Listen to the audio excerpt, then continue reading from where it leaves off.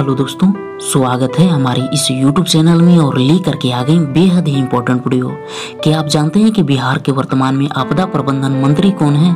यदि नहीं तो प्लीज़ वीडियो में अंत तक बने रहें। तो यहाँ पर बात करेंगे कि बिहार के वर्तमान में आपदा प्रबंधन मंत्री कौन है?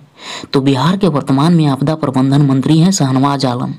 जैसा कि आप फोटोग्राफ में देख सकते हैं कि ये रहे शहनवाज आलम।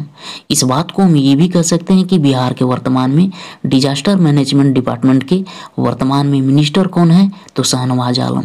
ये 16 अगस्त 2022 से बिहार के आपदा प्रबंधन मंत्री हैं।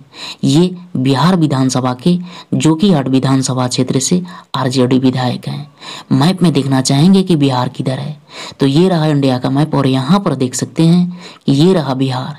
तो पूरा उम्मीद है कि वीडियो पसंद आया होगा। प्लीज़ लाइक करें शेयर करें और चैनल पर नए हैं तो प्लीज़ सब्सक्राइब करना ना भूलें। फिर मिलेंगे आपसे कुछ इसी तरह के वीडियो के साथ। तब तक के लिए धन्यवाद।